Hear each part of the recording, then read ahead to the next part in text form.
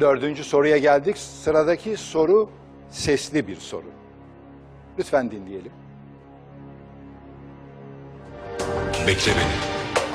Dönüp geleceğim bekle beni. Bütün gücünle bekle.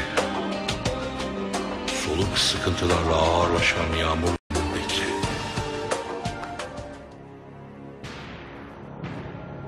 Dinlediğiniz ses kime aittir? A. Çetin Tekindor B. Engin Cezzar C. Kenan Işık D. Genco Erkal Bekle beni. Dönüp geleceğim bekle beni. C. Bütün Kenan Işık bekle. son kararım.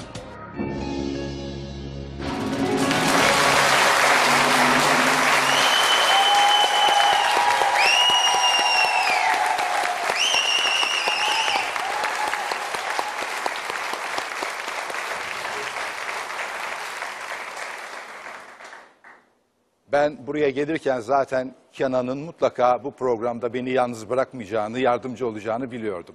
Çok teşekkür ediyorum.